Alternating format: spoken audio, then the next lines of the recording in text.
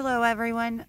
Um, my family is camping for Memorial Day weekend and um, I didn't bring any pans uh, but I brought hamburger so here we're cooking hamburger without pans